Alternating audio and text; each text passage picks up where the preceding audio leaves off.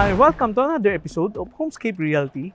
Today we are here in Greenwoods, Pasig City to show you this modern contemporary home. But first, click subscribe and follow us on our social media accounts. And please visit our website at www.homescaperealty.com.ph for complete property listings. Let's begin our tour. For this property, we have 10 meters frontage and facing northeast. Okay, so we have this three-story house We also love the combination ng kanyang grayscale finish para dito sa ating tile cladding and it complements well dito sa ating mga glass panels installed and a touch of greens dito sa ating balcony. Ganun din dito sa ating area for the pedestrian.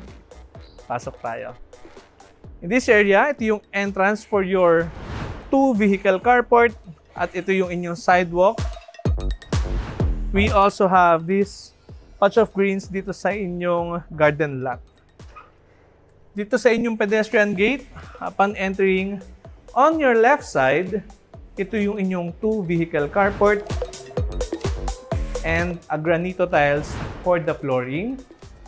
And for the ceiling, we have spandrel ceiling with wood grain design. And dito sa likuran ni Raymart, upon entering dito sa inyong pedestrian gate, you have this space para dito sa inyong bamboo trees. This will be the area for your porch. And you also have this high-grade PVC sliding door with another access dito sa inyong receiving area. The good thing about these glass panels, it adds additional natural light dito sa inyong receiving area with a double height ceiling. Pero mamaya na yan, tignan muna natin yung likuran nitong inyong future house. so in this area, we have around 1 to 1.2 meters setback dito sa inyong firewall.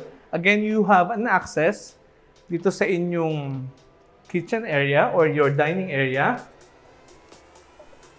And this stairs leads you to the maid's quarters. Under the stairs, you have this spot as your auxiliary or service area. And in this area, we have this room for the water pump nitong inyong plunge pool area. Okay, so ang lalim nito is 4 feet. Perfect for your kids. And we have this another spot for the parents or for the guardians ng inyong kids while having some morning dip dito sa inyong plunge pool area. So this area is also covered. And by the way, for the flooring, we have ceramic tiles with wood grain design. And additional, we have this area for the shower space. And we also have a water feature dito sa inyong plunge pool area. Balik tayo sa harapan.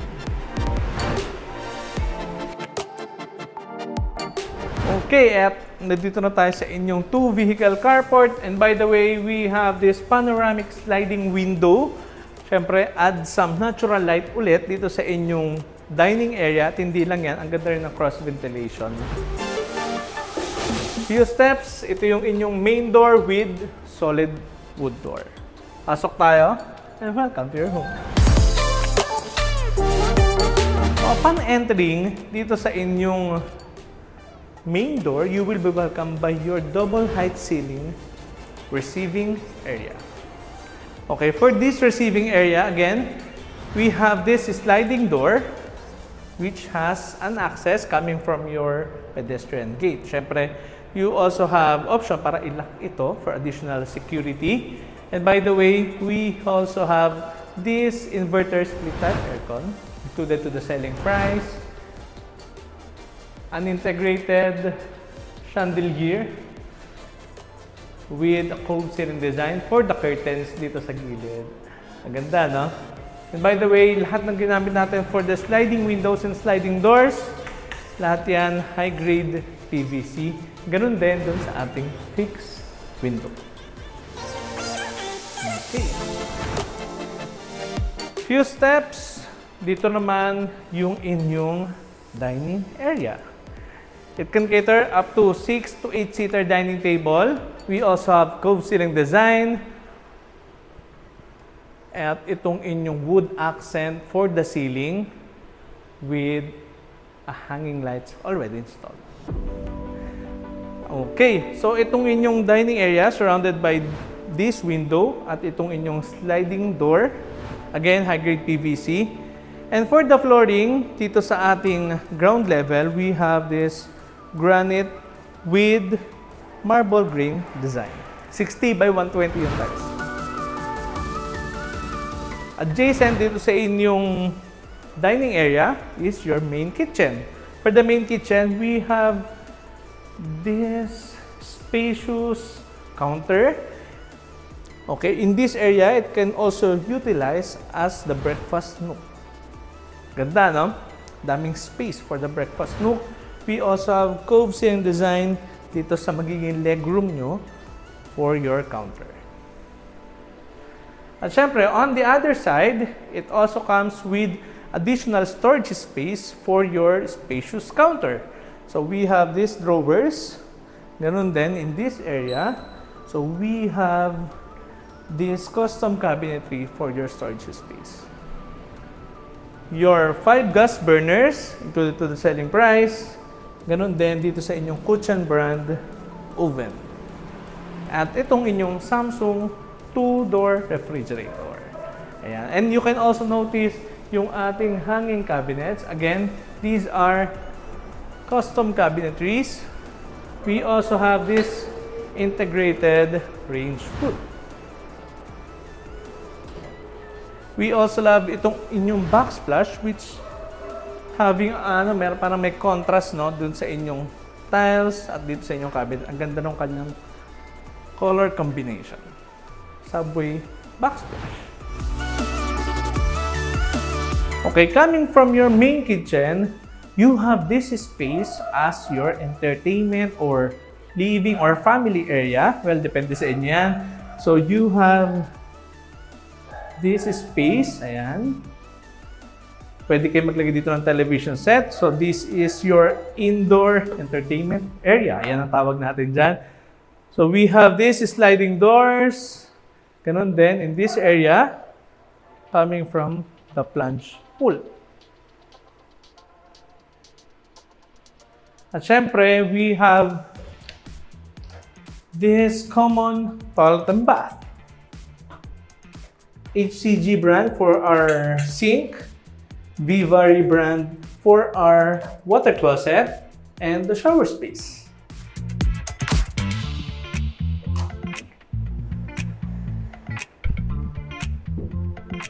And syempre, for your stairs, we have this solid wood for our staircase. Kulang na lang yung handrails on this side. And in this area, we have this wood handrails with galvanized metal for our balustrades and a tempered glass. Akit sa. Okay, so dito naman sa inyong second floor, we have these two bedrooms with ensuite toilet and bath each.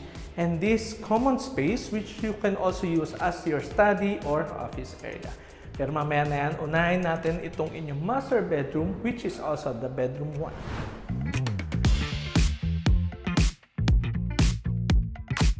Upon entering, you have this space.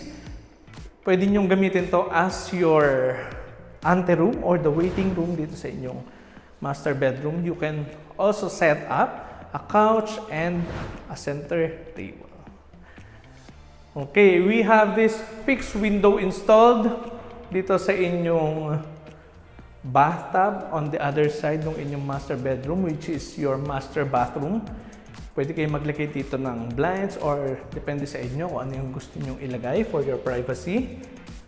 Unahin natin itong area na ito. So we have this master bathroom, the shower space with matte black finish for our shower space or dun sa inyong shower fixtures, your bathtub, acrylic bathtub in front of your fixed window.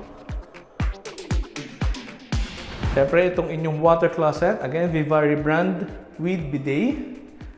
This huge sink and spacious counter for your vanity mirror. We also have these vanity cabinets for your toiletries. And we also have a provision for a multi-point heater. And in this area naman, ito naman yung yung space for your walk-in closet. We have this floor-to-ceiling custom cabinets for the storage space. And on the other side, itong inyong master bedroom. So coming from your anteroom or waiting area, you have a cove ceiling design with a hanging lights installed.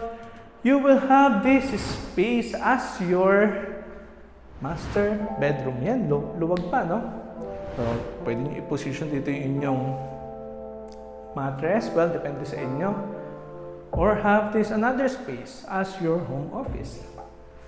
Again, you have your cove ceiling design and wood panels installed. Tignan natin yung bedroom 2.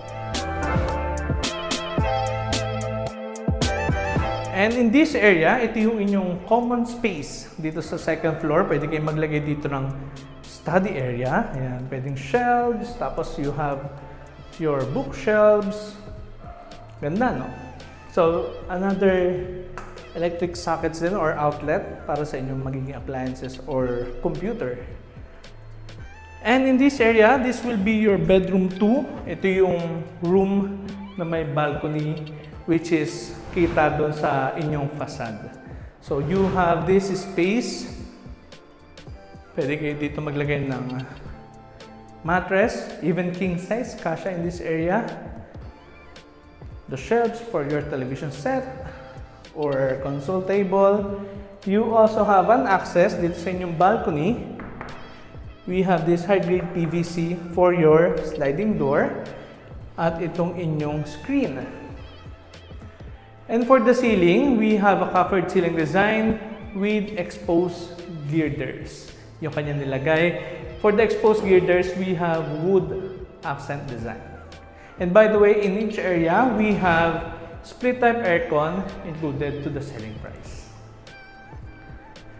And what we love in this area, itong inyong walk-in closet. Ganda, no? Hindi siya parang awkward yung space.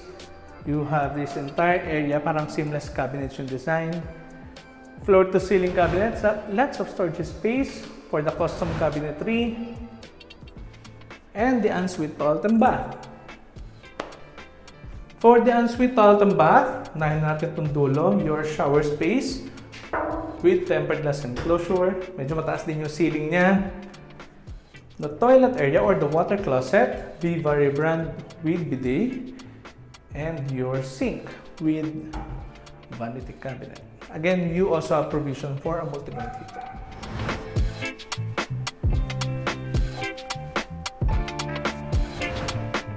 So we're done here dito sa second level. Akit naman tayo sa third floor. In this area, you have this dual handrails.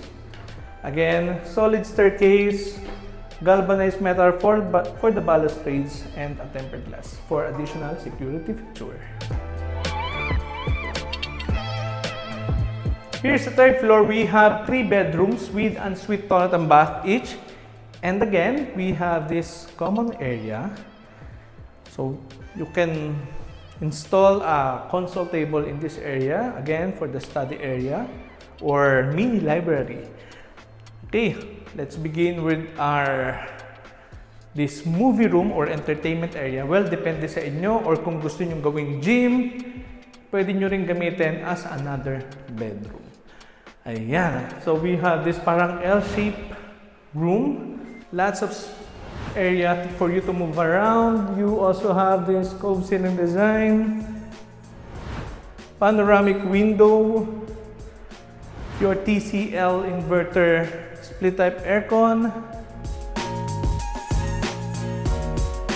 Pwede naman to as your walk-in closet in this area.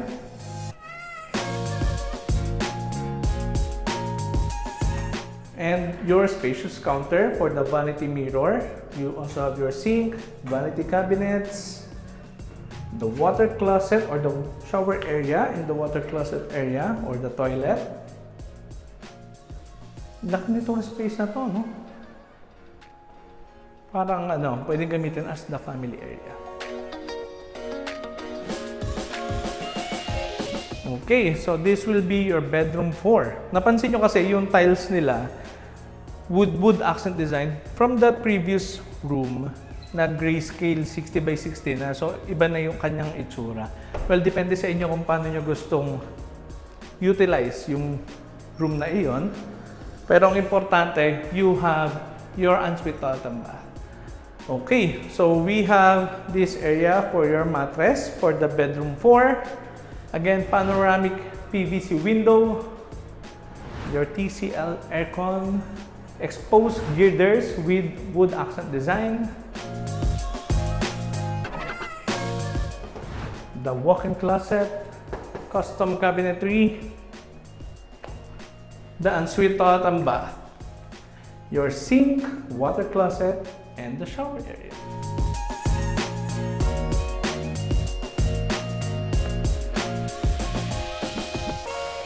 And for the last bedroom, which is the bedroom 5, parang ito yung pinakamalit na bedroom. So this will be your area for your queen or king size bed. Again, an access to your balcony with artificial grass installed and a plant box. Siyempre, after all the structures, kailangan mo maglagay ng green, a patch of greens, para syempre may pagka-welcoming vibe or homey vibe. Your cabinet area or the walk-in closet area, again, ang ganda ng space niya for the walk-in closet.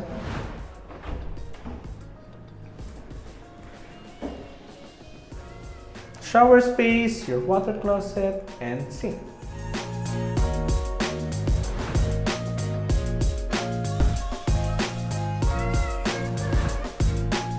Okay, so for the last floor, we have the attic.